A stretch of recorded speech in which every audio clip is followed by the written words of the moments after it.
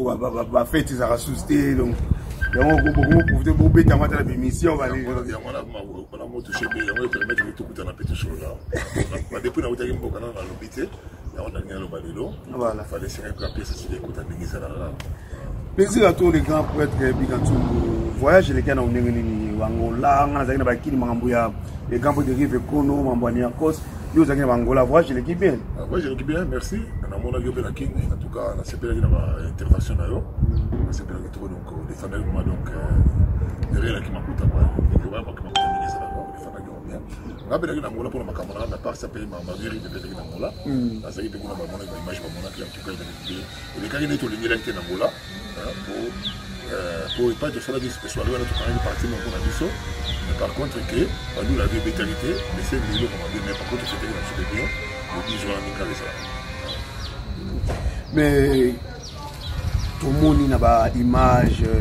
ngai mo oyebi ya wana oza moto nalandelaka landela tokoya na mawa miziki ya premier tobanda no likambo ya bor na yo oza kosalisa na ngola tomoni bafoto vraiment d'abord félicitation puisque c'est vraiment étonnant komona ke moto alingi mamba kolata motu tu abika biso motu alingama mabilamba tolobaka baconsidera bino na nkombo ya voyou heureusement le king de kimakuta aye kolongola eloko wana aye kovalorize basaper ke soki oza saper fotama na voiture ya vrai fozala baformation osalaka fozala makambo oza kosala tomoni mama na centre commercial oyo oza kosalisa bango na lwanda esi okombe temps mpona osalisa eloko wana euh, vraiment nakoloba ke naza na troisième année na ngai yango oyo euh, trois ekoki na février oyo mpona bandango na février trois ekoki na février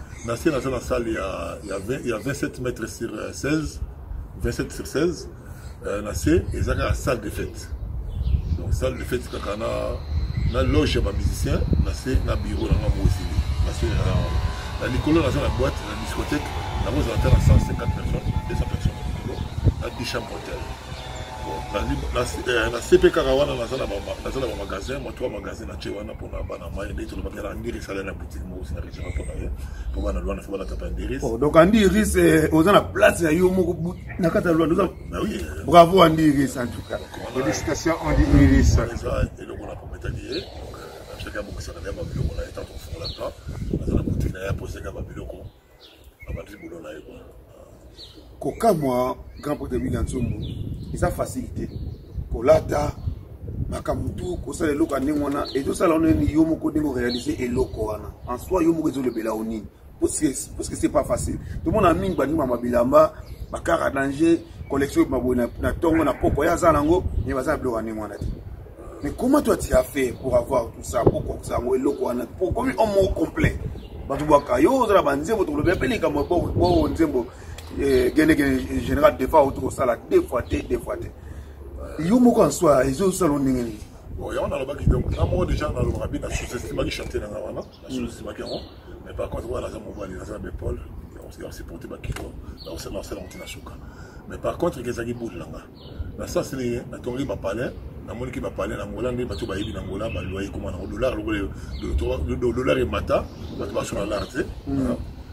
donc epermetaka baloyer eza sous bien te ça sert à rien na loise bandako onaza na bagara nala batabisa na kuta na kula lolaka fe utanga na poto yango nazwaka bulu wana na trois ans passé na bike ano oyo bato bakolanda bebiso na chaine mingi bamona biso liboso na bana kosala te alors fona sala mwa eloko moko ke lare ezalaka na mboka egelaka bango mboka awa nasalaka na bola wana olelari ewutaka poto nafutaka bagarde nafutaka mo batravaille basalaka mosala kuna omi nasala eloko moko na mboka komsa lari ebanda okota na mboka eservaka babulo wana komsa nasala otaka na mare mpe badamaka kaka olela lari ewutaka poto awa na poto kambo tobika nso avant obatamaka trop bayebaki obika nsomo nde toyebi kaka na bien bika nsomo mais na niveau international na banete tout osalaka mpenza te mais dikumbala moko mike nieme kuna alobela tedi mola alobela dide masuki alobela prise kuka alobela donc partout ezalaki du ya kobenda clientèle eloko tosalisa ou bien c'était comment en tout cas merci euh, nakorépondre mingi wana na deux façade euh, bika nsubu naza moto akala na poto bayebi bayebi mm. euh, donc kutu naye naye na pièce nanga moko awa ya 1991 ya kaloji oyo wana na clip eza te oyaki na clip wana mosusu mosusu eza bino pare awa donc na banda mama olata banda kala yango nalobaka moto ya liboso ayembanga na banzembo eza vie na biso makwela songo na 91 na album na ye na vie bokul na vie china efonge na vie bozi na vie folokolo classe zaiko ya kala wana moto bayemba album wana donc moto ya biso abongana 1991 je parle lokola tozo banda obanda kala wana yango na susi deja na 88 bayebi donc euh, bajenga bato oza na bango awa na substagene tobwana bango aseri bango toyebi na bafaye donc euh, na banda bango banda kala mais yango nabi ke bato ya bilamba babima mingi hmm. tomona vie na biso nyako zabaka mpona bilamba tomona vie na biso euh, vie modoka mbaka mpona bilamba rive ekola babaka mpona bilamba mpo hmm. lelo nde aye na nouvelle ordre hmm. aye na mamosusu na liboso eka mpo na bilamba sikoyo natalaki ke bato tu babima ba mpo na bilamba lelo mpo balobela elamba lokola tofingamaka tro tofingamaka to tofingama ti lelo tro hmm. il fallait kosala babiloko moko boye oyo kopermettre ke bazala ta kofinga yo te biloko vérive azo ba nouvelle ordre oyo eza teke tobandaki wana vérive ngai na banda makambo na kwela nga ye pabolaka na kwela ye onaninga keno po tozongisa makambo esape na nzela esape akoma pe moto lelo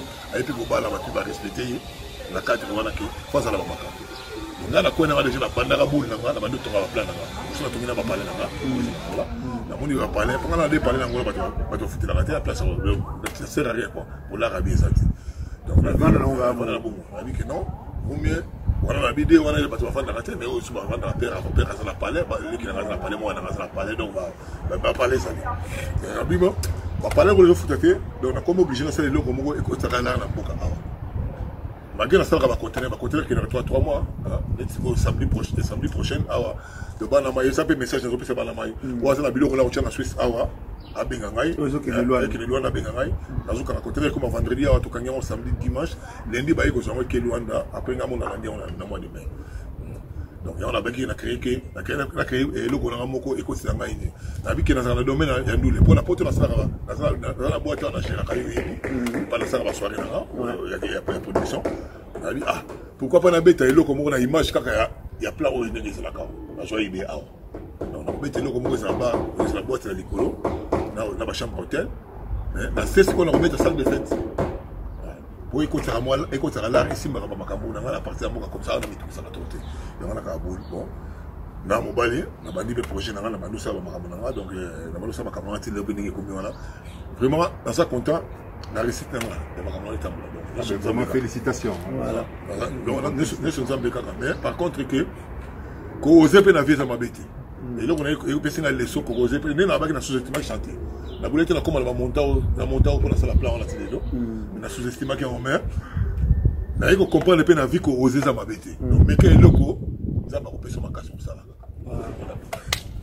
Washington grand pays ozomona ozoyoka le grand pote big antimo balobi saper ya lelo lata tonga sala makambo puiske bozongisa valeur ya basaper puiske tout le monde ebeka so moto ana alinga kolata na suka ya bakani na kin wi na ngola aza na eloko te mpo amesana kolata mais différence ezali na kati ya royaume de kimakuta na biso bajournaliste na bato baza koencadre biso bagrand saper na biso bavie na biso barive ekono babika ntumu bozomona bajenga samuel différence ezali mpe nanga cuba cubak cuka cuba cubak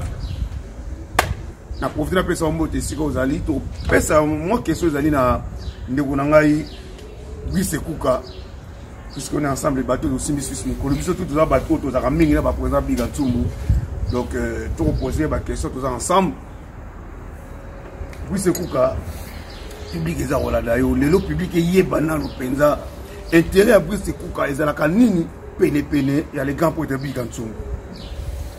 alors bonjour à tous euh, et bienvenue na balandi émission oyo vu que nous sommes en direct euh,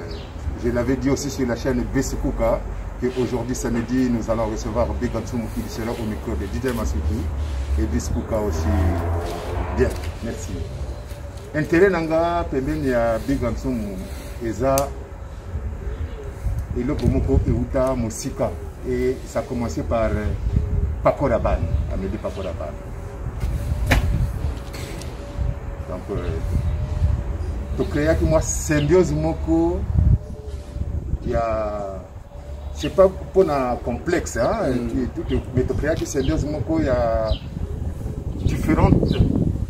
nationalités pour ne pas malgré que tu as la culture moko mais pour ne pas avoir un complexe d'infériorité de supériorité sur l'un ouais. sur l'autre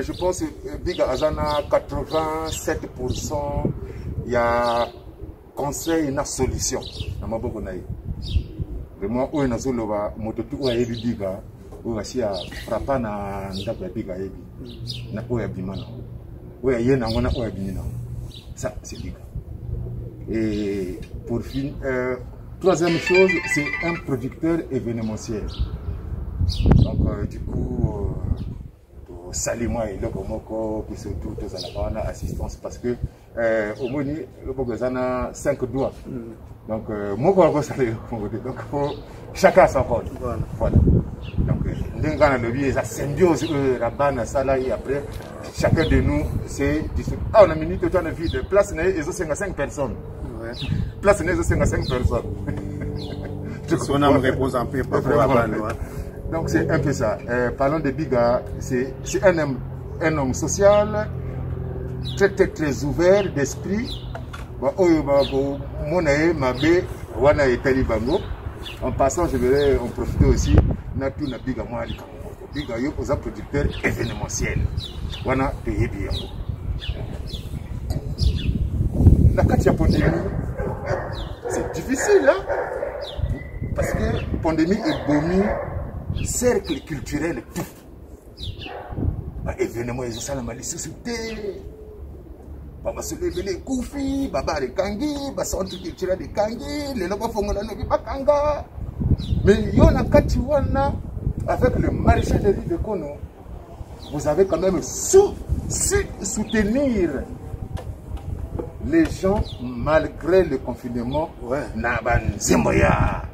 hommage à papa wemba stervos narcos euh, paris aller retour euh, euh, il y a eu encore euh, jeune premier bandeko na nga balandi chaîne ya brisco kona ya ville publique balobi ah epiga wana eza trafic d'influence te ya production na ye ti etu nini ti etu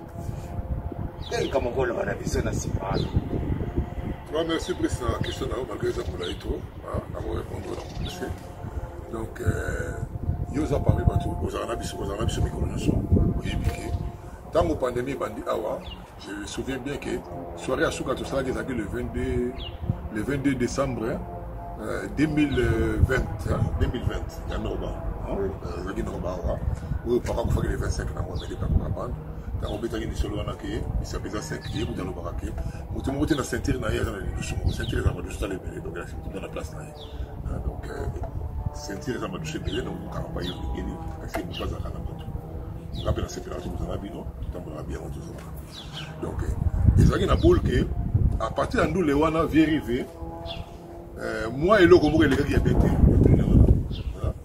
par rapport ya bango bamisien ngai na jenga na pako pako mozalaka ide alobiki ve fozobela sikoyo etiraki biso tu na matoyi mpo ngai nayebisaka version na lobana ka version na ye te etiraki biso na version na lobana mpo na spectacle wana vi abetaka bien tellement ah, rivecol bato basepelaki rivecol bato basepelaka bazikike bakoli vieux fazo mela lole yango epermetaki ke tosombekosolo selon vie mpe ntango akei vie ntango akei bato bayoka mba histoire oyo bien ndenge bango bavie rive edekolaki hmm. vie ntango akei na pale basololi na jenga vie abengi nga abinanga ah biga namoni ke mbalo vraiment nazongelaka ndule nameka kosala ta mwa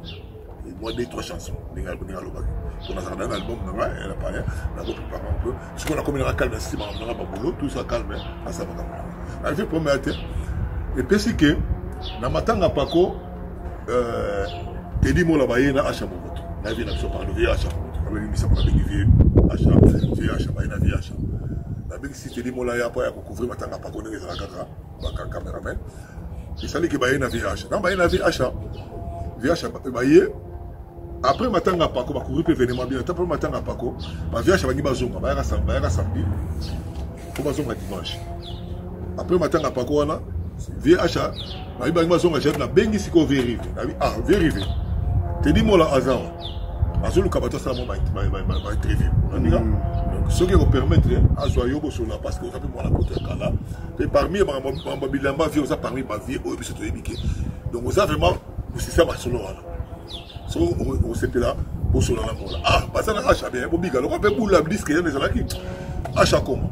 natie asha na vie asha vie asha na train na mola bake genève bakute na vie rive na jenga yango basala émission wana na nini sokolani ekona émission na bayakola diske décollage wana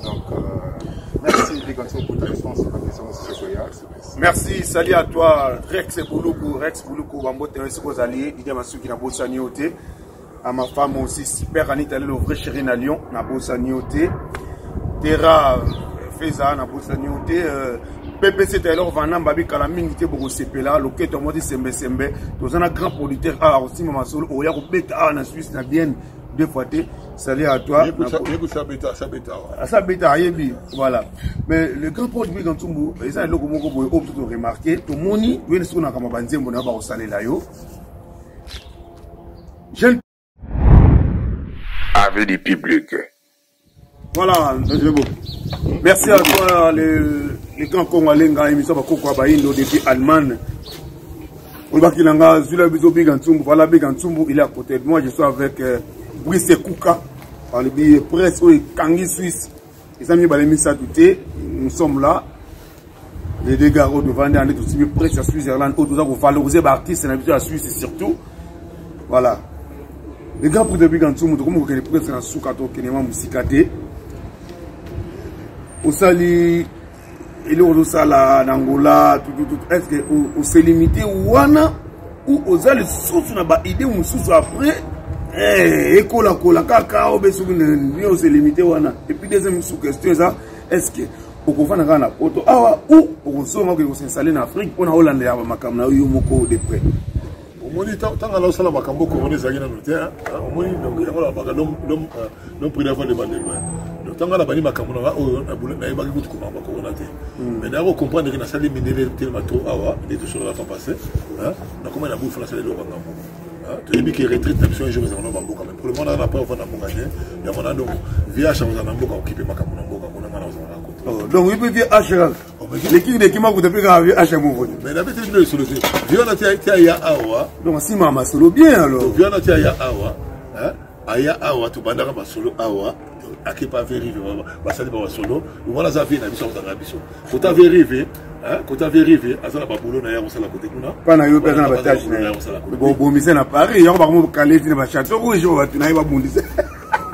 Eh, basi bakale eh? bakale eh, eza motu moko ya paris bato ya kala wana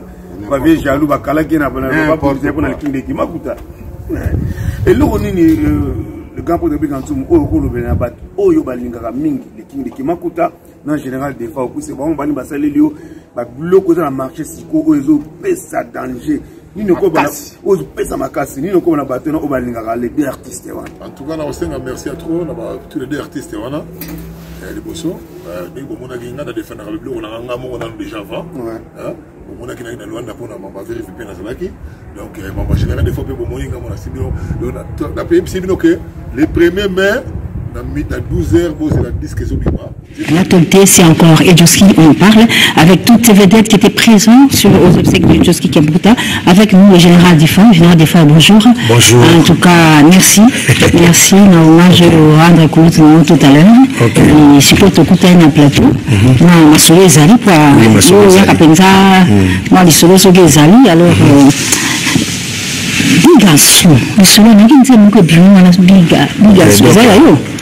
Mbika Nsumbu, Mbika Nsumbu eh,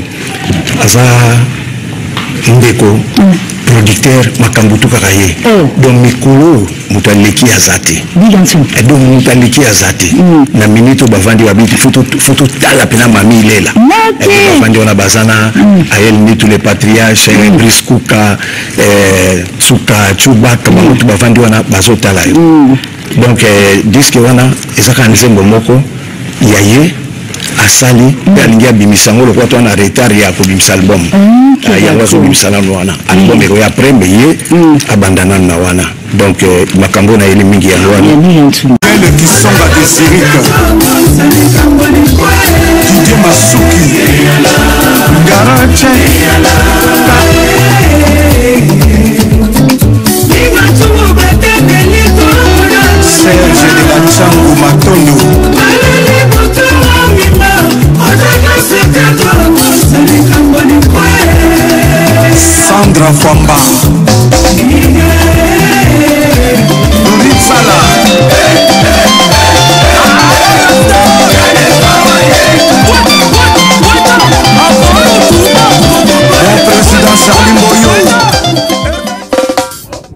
ya prophète titre nango eza prophète bikatsumbu bozela yango donc na 12 heures na dobolino donc eza eloko moko oyo général de face alango na motema ya calme eh. donc tosoli ndenge tosololaka na bande bamise parce ngai ngai nazala un nazala na camarade na bango avant tosala na makambo na ndenge ya bien yango bomoni ke en tout cas mingi ya kosenga bino yati mais bokonsomeka banzembo wana ekozala bien mpo na bino mais tout wana ezalaka mpo na promotion ya kapla na eloko na sala mboka hotel hotel club center na mboka merci Merci chers amis de notre Wotiko Landa, le grand, le grand prêtre a commis Mikolo prophète Big Ansumbu. T'es qui prophète de bandit de l'autre hein? Ouais, mais babimi soko ni makasi siko to obo marango. Ah ouais, bah, yembeli yango nde. Ba bah, yembeli yango siko plan. Donc oyemba kutu oyo eza après po na 2019 na décembre boyebi que euh, général de force sala ngai na longole na bikisi na kenya après 19 ans mm. après 19 ans de fois ya poto te ngai na longole na kenya na yena ya poto awa asala 3 mois visa ya 3 mois mpo ya na bien abeta deux concert na bien awa le 24 décembre 2000 2019 na le 30 décembre abeta na kati ya bien awa bino boyebi donc epai ekomba prophète ebandaka parce que na prometaka général de fao ntango azalaka na kenya mm. pendant 19 ans vie mokolo ozwa dok na yo na kenya ya résidence benga ngai nakobenda yo na poto les choses dit les choses faites nde balobaka ntango général efa azwi mokanda na ye atindeli yango na whatsapp ndenge ezalaka nayebisi ye vie na trois mois ozoya poto andima te mpo bapromete mpe ebele esalama nango te ntango nasali yango mbala moko vie alobi na ngai abika oyo olobaka oyo esalamaka donc na kikongo balobaka santo toma buka mona buka kwekila soki namoni nini nakondima eza eza prophétisation nde yango ba prophète protéger wana donc mpona koyemba yango lelo le général abengaka nga prophète nga général depuis ya na 2019 abengaka nga prophète kala banao bengaka biga melo abengaka nga prophète mpo depuis wana namoni na nzembo ye mo mpo nga titre na yango ezalaki fale ezala hotel club santere mais général insista na bino biga ezali nzembo wana eza oza prophète nzembo wana nkombo wana fo ebima yango wana totie mpe kombo wana merci mais soki totali meme bien corps soki tolandi bien corps ya nzembo parce que nzembo cher internet eza te koyoka kaka son ya ba eh, ya ba instrument mm. mais il faut kolanda corps ya musique ezoloba nini thème ezoloba nini balobi nini na kati wana balobi ke mawa ya biga ntumu na masele eza ebele vraiment merci général defao na ndenge eh, prince mokili etambolaka bongo ah. eh, donc nga naloba eloko moko tokoki résoudre barankine te eh, eh, tozalaka sempa r moko r moko mabe fo ezala mabe fo olakisaka ebula asali yo mabe omosi mabe général de fois aza parmi bato oyo donc azosala nga babulo ya bien na ndenge ya bien ntango ayembi eloko wana atali ndenge nga nazalaka na ndenge nazalaka na bino nde bolobi wana parce nga namonaka yango te anga namoniki naza tonso normala soki nazalaka extra pa ya bato mpo ebanda banda kala mamika komona nga omika ozalaka loka mondele nga nde droitire na vie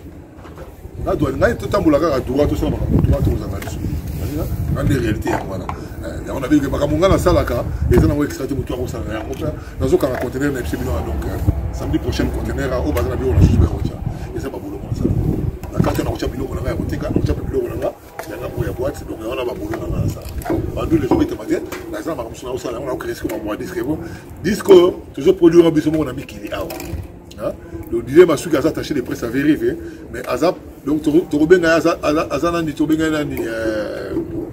muta marketing pour la disque. Ngabo nazo produire nzembo oyo Didier Masuki na marketing, le total pour sango biso mibale. En tout cas bana mai bo consommer ça va bien. Bon aider biso na distribution nango, et ça va biso fait plaisir. En tout cas merci à toi. Vous consommez, vous consommez, vous consommez la chaîne à avis du public, Biscuka, Ndombolino, partout où vous aurez l'occasion. na titre ya prophète de big nsumbu le premier mai le premier mai na 12 le premier mai 2020 2021 na 12 heures juste bokoti na ndombolino bomona biloko ekoti deja eleki tokopartage na bamasuki biso bato to antuka merci ya trop mpo na marchal rive kono vie tokontinue na objectif na biso vie ndenge kaka oloba na ngai na peti na ngai tokozwa tokozwa batake ebele te batake yango nde yango yango ngai esalaka yango ngai sule kote hein? parce que nazalaki prépare epai na yo l'homme qui donc va de mal de loin et puis baloba kaka aza roi ya kimakuta je vous avais dit dans mes précédentes vidéos que pour toucher la colère du roi il faut offendre son chien mais pas ses gardes parce qu'il les a engagés pour qu'ils les défendent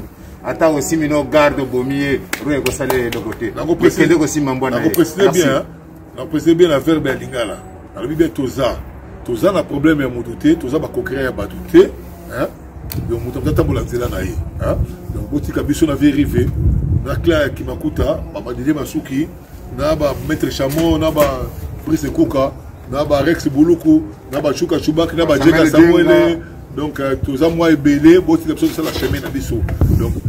inspiration na inspiration ya vie rive etindi biso osala makambo tozosala wana diske na ye asali yango ye moko asengi aide ya motu te na ndenge ya bien apart biso clan na ye mozole mpe azosala yango ye moko asengi aide ya motu te antuka botika biso osala makambo na biso ndenge ezali bana moko boyotaka maboko komba kipapu ko avant avant vie niarkos akufa komba kipapu levalo azalaka deja pape pape de la sap kofi abwaka yango boye kona na babande ezali hmm. tozongi susu tokei susu vie na biso jo balar babenga ye pape de la sap avant de akosa kufa donc ya vie revete ke tokobisa biloko bino soki mitema mabe na bino ezali antoka bolongolako mpo na likambo wana bozela olonga mosusu merci wana bi mais bavote ya mokili ewutaka na peuple soki peuple eh, eh, congo braza kinshasa angola partout dans le monde bandimi ke ye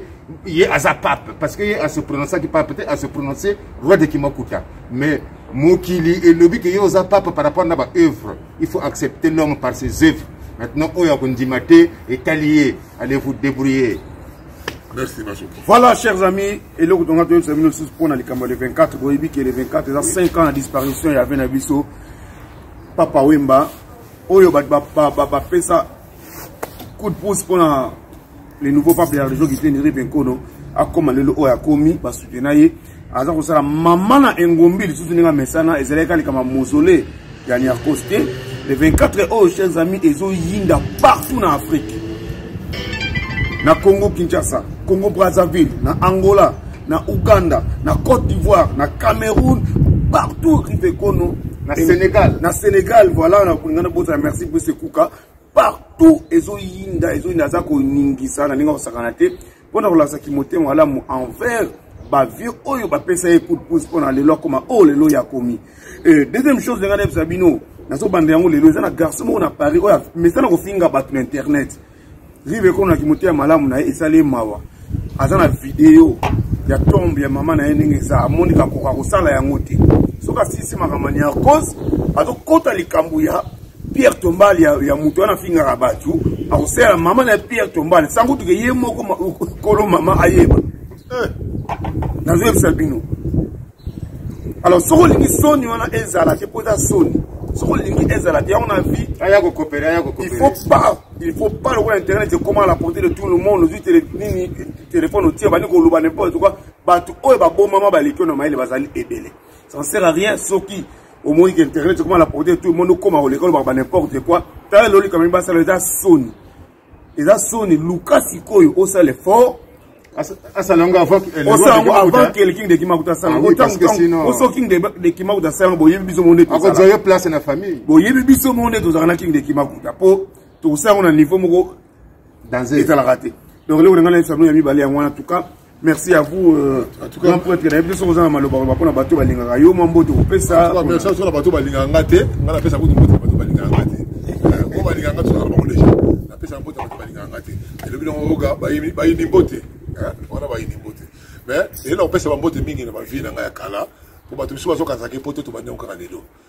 donc nga bika natambola ba ville wana kopesa ba mbote lelo napesi nga vie nanga mavue na somo mbote ebele napesi vie nanga declé vie clément mwana matonge euh, euh, mwana kasavubu declé mwana kasavubu vie clément na kati ya belgique ayatola yayo ebele yango wana napesi vie nanga okito jondo bambote wana baza ba vie nanga na oyo ya mana allemagne onaninga ntango bino bozo rene na paris biso zorene na allemagne wana bafe nazo ya malakata allemagne ntango bazo la traité oyebi ke bunda esala ebele rata poto bunda esala ebele napesi bote na vie nanga changla chango soko ozalaka kaka vie nanga niko masombo bakombo nazotanga bino bato bozofinga verivi boyebi bakombo bato wana onaninga bakombo wana boyebi yango baza bagrand prêtre ba bavie na bino na ndenge ya bien donc ala vanda na bavie wana donc bokointimide bato te oyo te bato basala makambo oyo tozala na besoin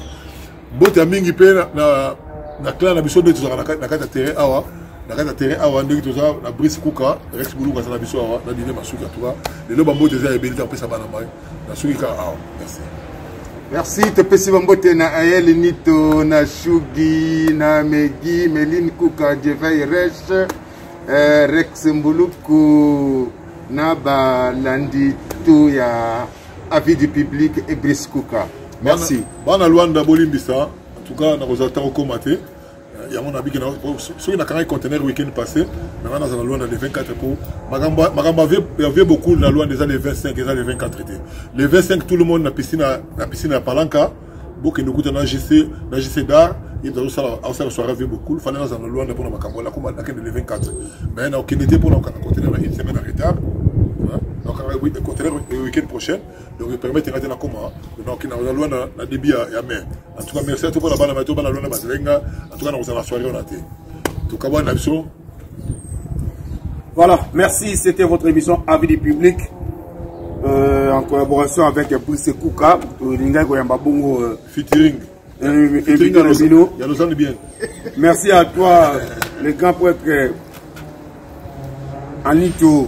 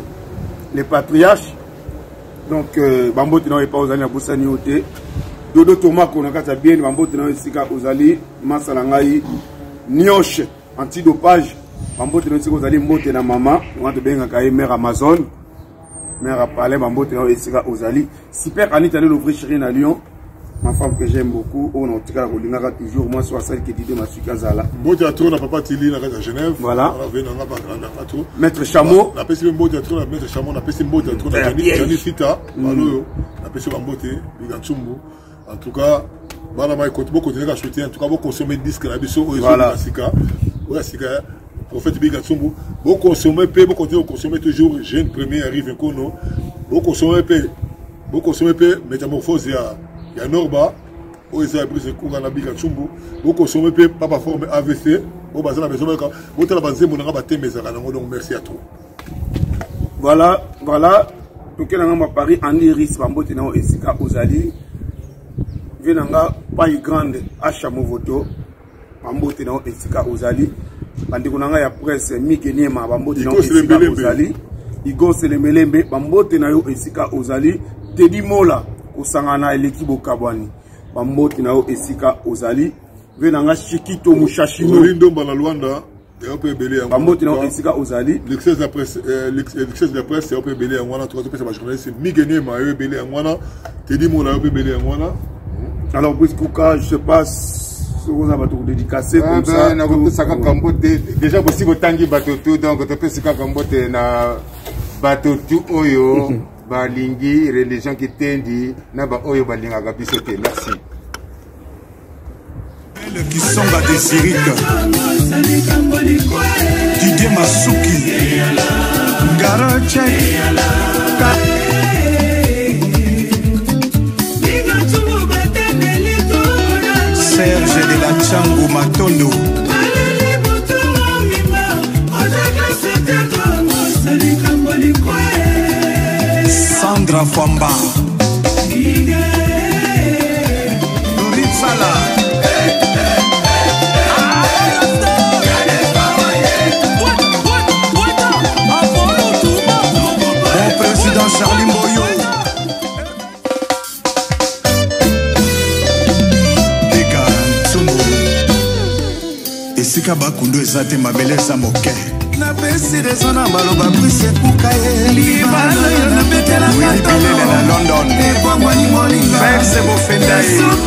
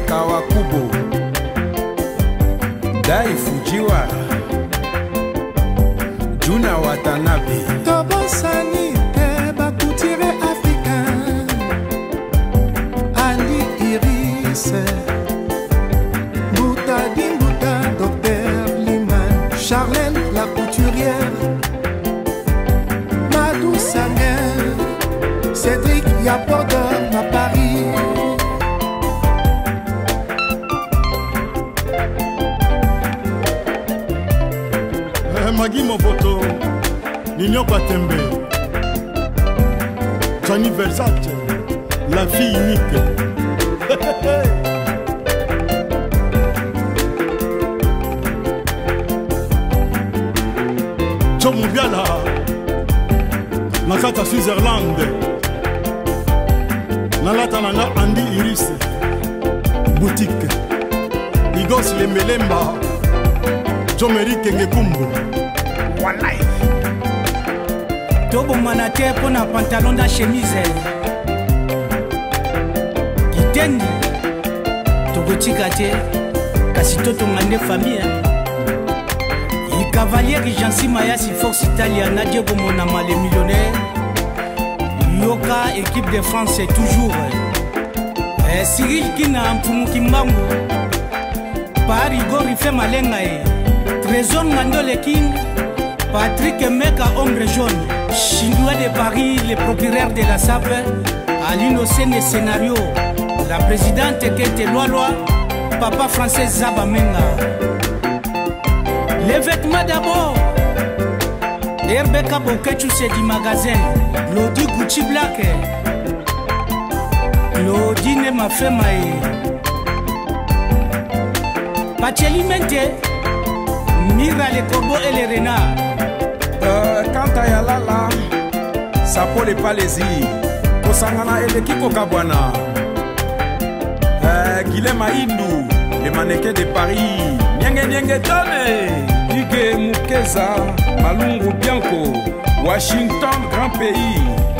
Didier Masuki, mobali ya mandefu ya pembe.